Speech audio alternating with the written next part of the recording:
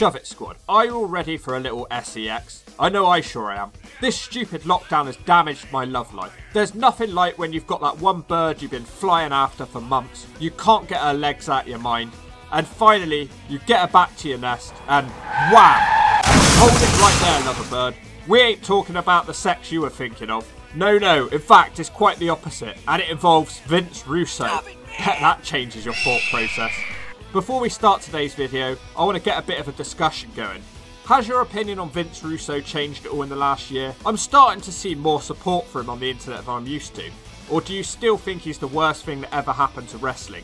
From my perspective, as bad as some of his ideas and storylines are, and yes, today's video is an example of that, I like having things to laugh at. I mean, funny is entertaining for me, and even if they're not meant to be funny, I miss them. I miss the storyline driven wrestling shows. Also, keep watching for AJ Styles with a chainsaw, the proudest moment of AJ's wrestling career. Anyway, it's Vince Russo's Sports Entertainment Xtreme faction. Sex sells. Get it, got it, shove it. This was the first major storyline in TNA wrestling.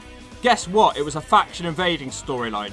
It certainly set the pace for future storylines and changed the direction of the company.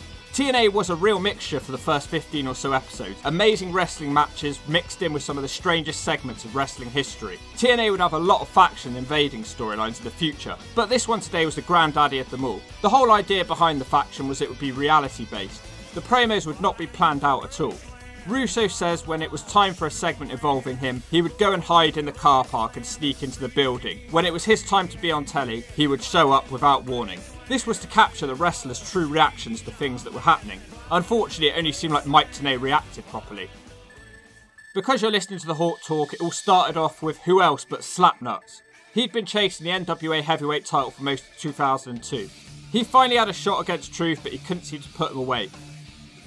A white hoodie man called Mr. Wrestling 3 had been appearing in TNA before this, and he would interfere here and help Jarrett win the belt from Truth. He smashed him with a guitar. What would you expect? A glass hammer? This would be very appropriate for Jeff in TNA, as almost all of his matches ended with a guitar. The masked man then revealed himself to be Vince Russo. Oh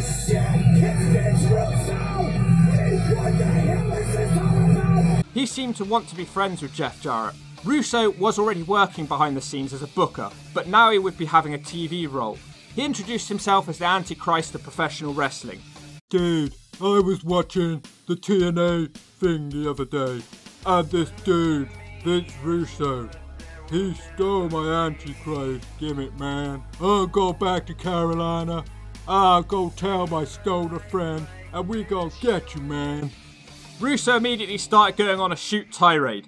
He spoke about how he gave Jeff Jarrett his guitar and how unhappy Jeff was at being asked to lose to Chyna in 1999. Russo then admits that TNA didn't stand for total non-stop action, and instead it stood for something else. I gave that moron the name TNA, but TNA didn't mean total non-stop action. TNA meant an ass. No. This product sucks. The WWE sucks.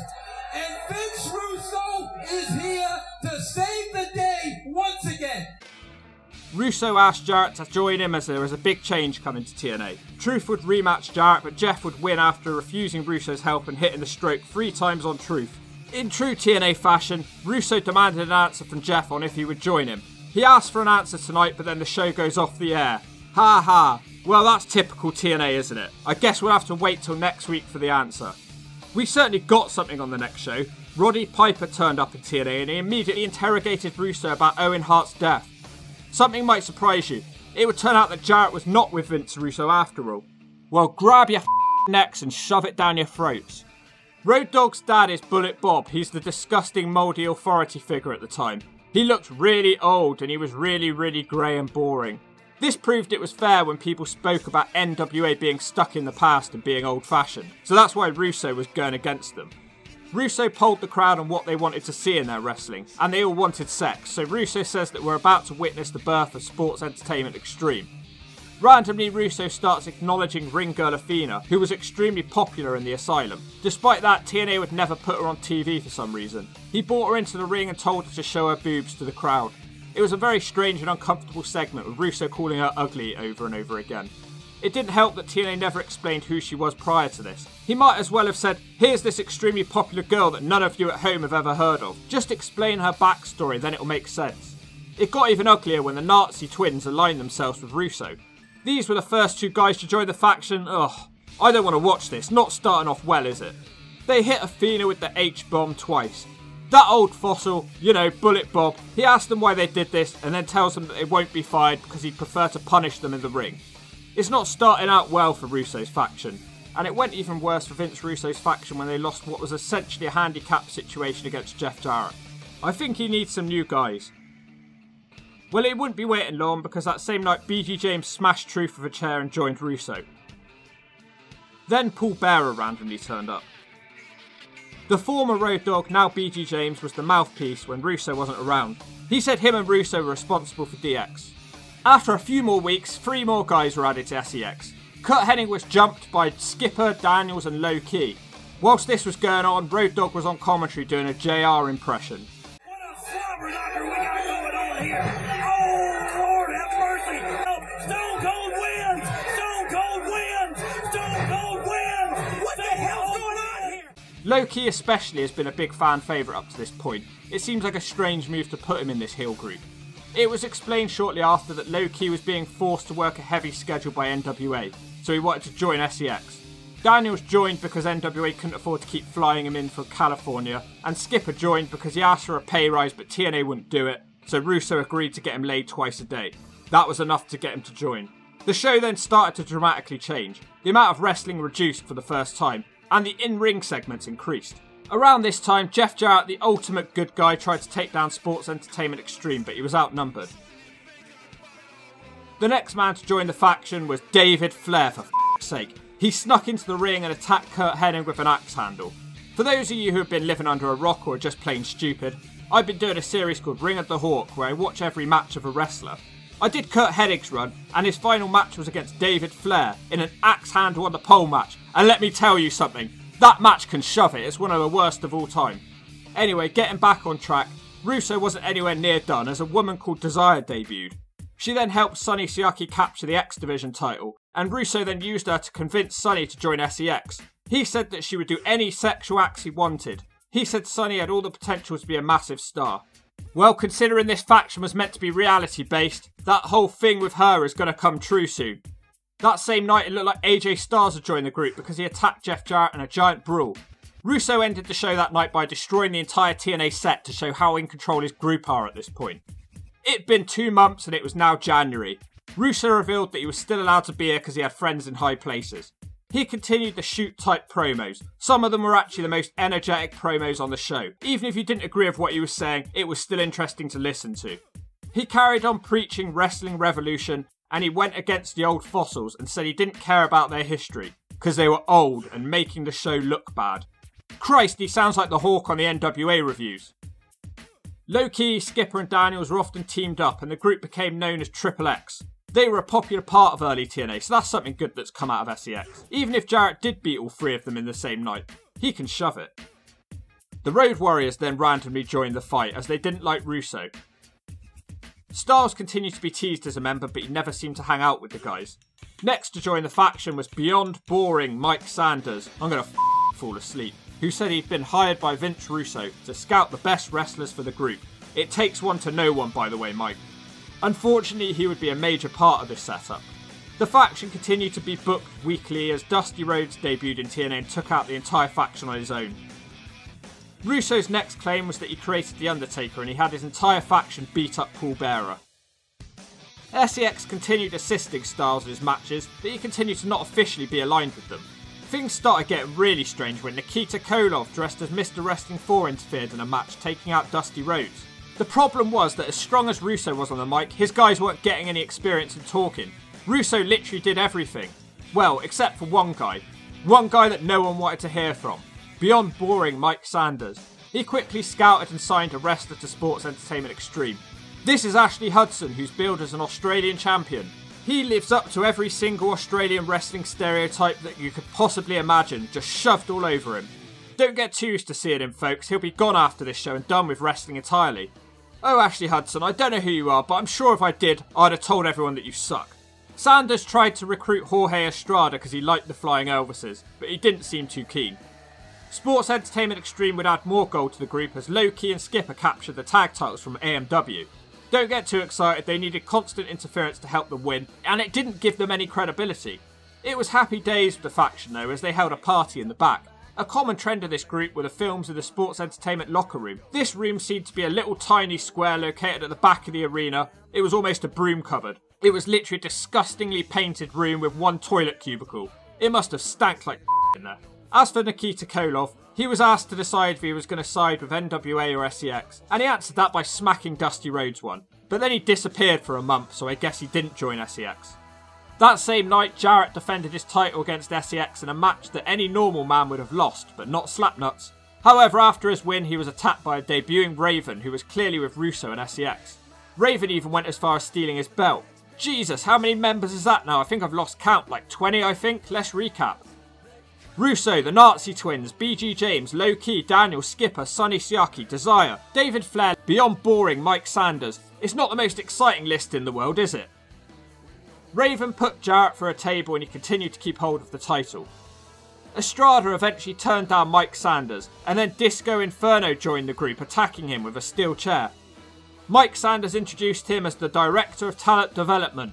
What's that, 12 people now? You might have expected BG James to be mentioned more, but he was too distracted by feuding with his mouldy family, so he's a bit of a non factor in this group. In fact, at some point he just disappears and stops hanging around with them, and then he moves on to better things with his old WWE friends.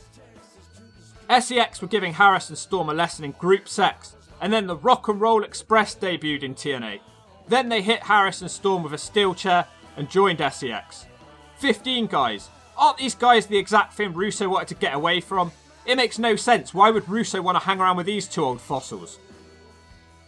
SEX seemed to completely derail Truth and Lynn, by the way, who were main eventers prior to this. Now Truth was doing the JOB to beyond boring Mike Sanders. Then Tony Schiavone turned up dressed like a cokehead. He complained that he's not had a job in wrestling for two years. It's probably due to that coke problem. He talks about how he hung out with the wrestlers in the 80s then he starts arguing with Mike Tenay while the crowd chant boring. Russo comes out and offers Tony Schiavone a job.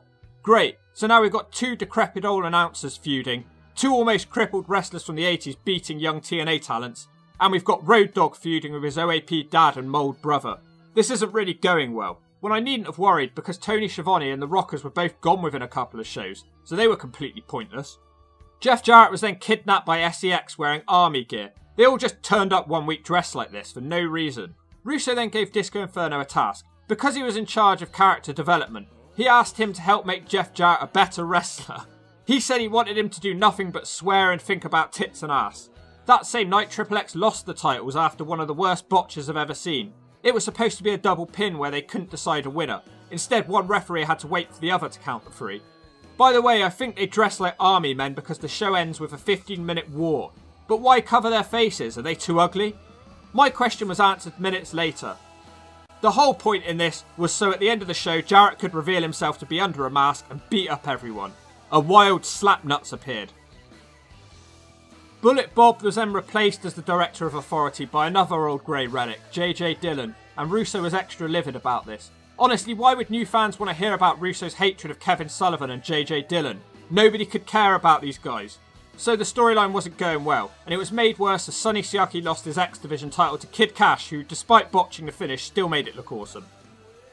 Disco was starting to get angry with Mike Sanders because everyone was, because he's Mike Sanders, he's really annoying. His problem that Mike was not bringing him any wrestlers to develop. Disco was desperately thumbing through magazines for men who swing that way in search of new talent.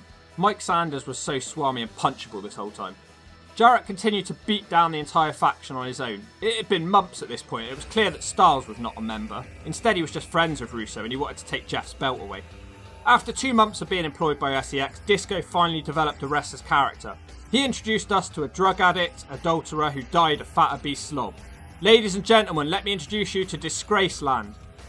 We're now up to 16 wrestlers. He's an obese man who takes breaks during the match to eat peanut butter and banana sandwiches. Mike Tenay's flipping out on commentary. He complains that Glenn Gilberti's ideas in WCW consisted of the Invisible Man and a group of Martian wrestlers led by Mike Sanders.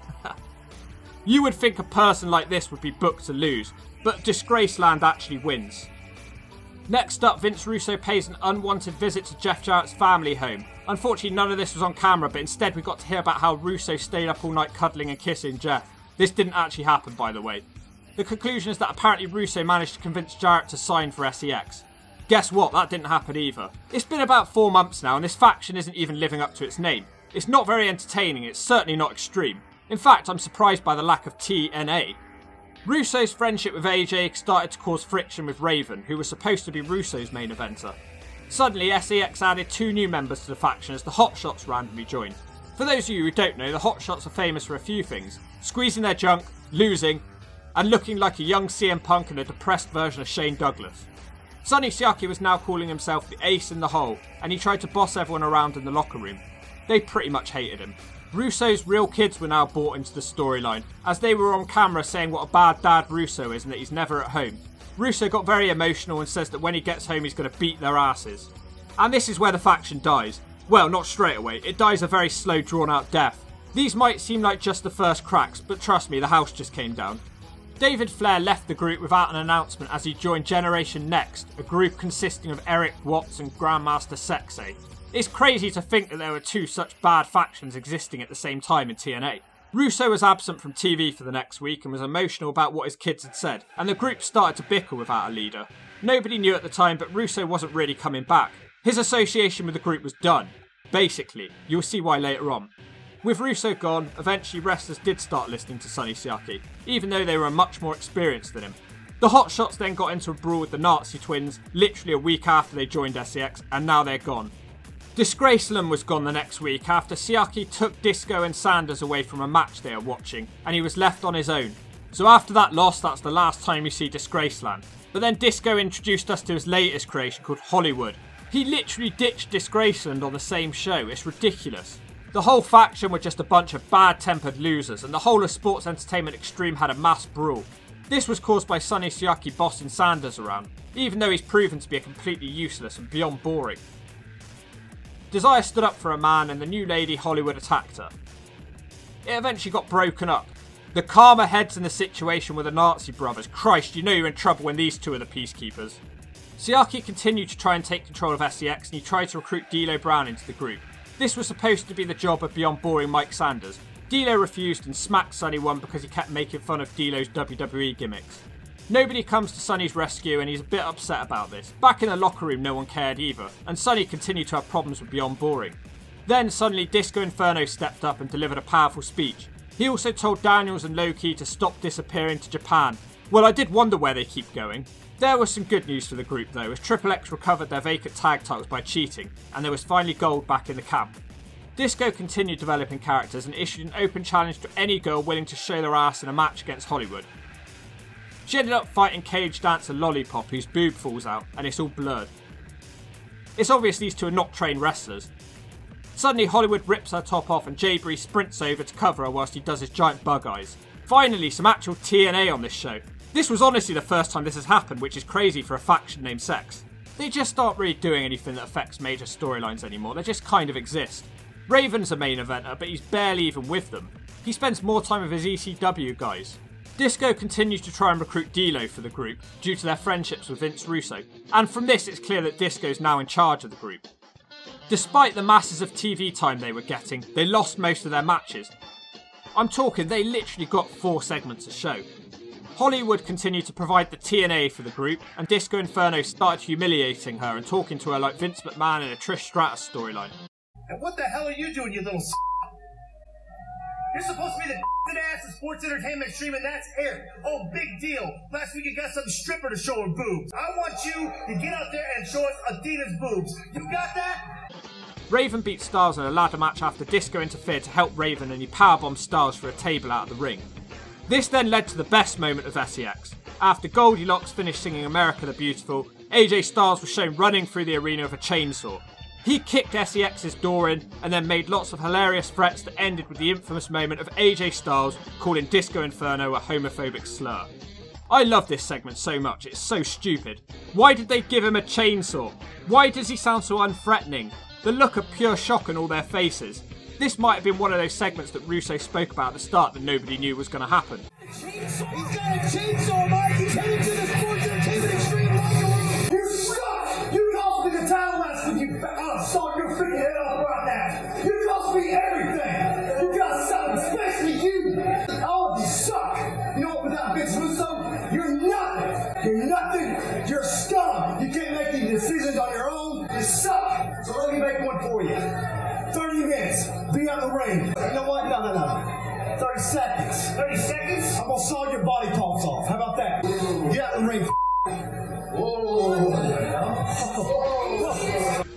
Poor Disco. I honestly can't understand why this thing even exists without Russo. It makes even less sense. What's their goal? Why do they exist? Why doesn't the NWA have a problem with them anymore? None of this was explained, and the storyline just continued without Russo. They desperately tried to cling to D'Lo Brown and made a deal that he would join them if they helped him win the world title from Slapnuts, but they were unsuccessful. Anyway, because Jarrett is the champion, you know how it goes. Say it all with me now. Fights an entire faction off on his own. Ref bump, stroke, Jarrett wins. He also hits Mickie James with a chair shot, so it has that going for it. So D'Lo won't be joining their group. Chris Harris was often seen in the SEX locker room, and it was teased for a while that he was joining them. Storm wasn't happy about this. They always wanted to push Harris on his own, but back in the day they never pulled that trigger on that solo run. He does tell Beyond Boring some home truths, which was hilarious. Nobody likes you over there. Chris, do you really think I give a sh- what boys in that locker room like me? Let me ask you. Let me ask you, what do you think about Mike Sanders? What's your opinion of Mike Sanders? Honest? Honest? No lie? I think you're an asshole. exactly. You think I'm an asshole. AJ would eventually get his hands on Disco Inferno, and of course, because Disco's a SEX wrestler, he lost.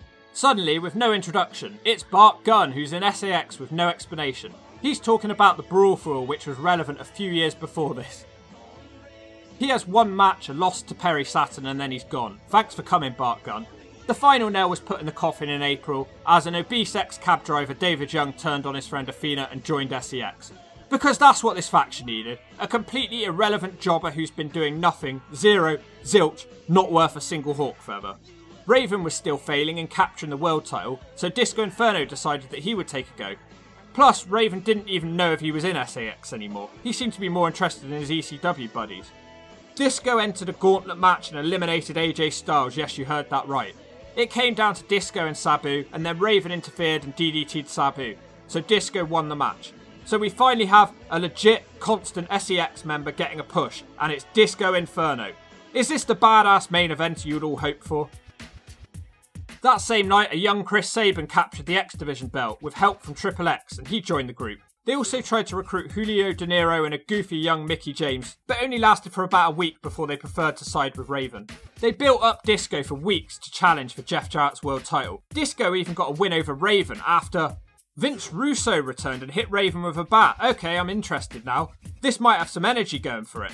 So SEX now have a chance to own all the belts in TNA. It was a main event that we were all supposed to take seriously. Jeff Jarrett versus Disco Inferno for the world title. Well, you know how this goes. Ref bump, Russo then turns on Disco and he hits him with a bat, and then Jarrett hits the stroke and it's over. Out of the blue, Russo turned on his own team. Russo leaves through the SEX area of the arena and they're so useless they don't even try to stop him. What a bunch of losers. So why did Russo turn on his boys? Well, it was a week later and he helped AJ Styles capture his first world title. So it seemed that Russo could see that SEX was a sinking ship and AJ Styles was on the rise, and they planted the seeds a long time ago that him and AJ were friends. The faction struggled along for a little while longer with Triple X dropping the belts to AMW. The same night, Disco Inferno then announced that they were no longer allowed to use the SEX name. Somehow it cooled on for a couple more weeks again, before ending without any official announcements. The losers all just went their own way, and most of them continued losing. Disco formed a new group called the New York Connection, which was even less entertaining. The Nazi boys were relegated to the TNA B show Xplosion before leaving that year. Mike Sanders would leave TNA straight away with no proper comeuppance. Considering how smarmy and whiny he'd been, he deserved to get smacked out. Siaki would wrestle for a couple more years in TNA having plenty of matches, but he would never have as much attention as he got during the SEX run, and he'd never get to live up to the potential that Vince Russo said that he had. And this was all because he had to donate his other kidney to his brother and retire from wrestling. Sonny's manager, Desire, broke her back the same month that the angle ended. She'd finish up wrestling in 2004 after not wanting to bump anymore and becoming pregnant with a third child. Sonny Siaki is the dad of that child, for real. So there's something positive that came out of the SEX angle. She then put on a load of weight and ballooned to 252 pounds. Jeez, that's heavier than I am. And then she lost half of it by going on the biggest loser. And I ain't talking about Sports Entertainment Xtreme. Triple X didn't gain much from a character perspective, but all three guys would have a place in TNA for a while. They were established from their time in SEX as three guys who worked well together and could have a good match with anyone. If anything, it gave them more of a purpose other than just taking it in turns challenging for the X belt. Plus, I mean, come on, David Young, Mike Sanders, the Nazis, I mean, these guys were always going to do better than their colleagues. Well, that's it. I was expecting this faction to be an NWO ripoff. It wasn't.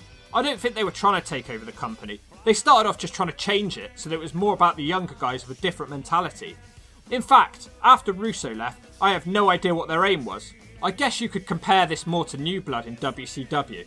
Unfortunately, it was just a collection of mainly their most boring wrestlers shoved in one little room in the back of the arena, with Raven drifting in and out of the storyline. This group had no permanent main eventer. Who was the highest singles wrestler in the group? Disco Inferno? Sonny Siaki? And I like Sonny, I do, but this wasn't working for him, and I don't think it was meant to either. Ultimately, the biggest problem with this faction was that it was supposed to be about leaving tradition in the past, but Russo spent more time cutting shoot promos about things that happened in WCW and WWE five years earlier, and talking about the wrestling audience that left after the Attitude Era. And then it dragged on for way longer than you can imagine for no good reason after Russo left. And if you don't agree with that, I'll remove you like a pest.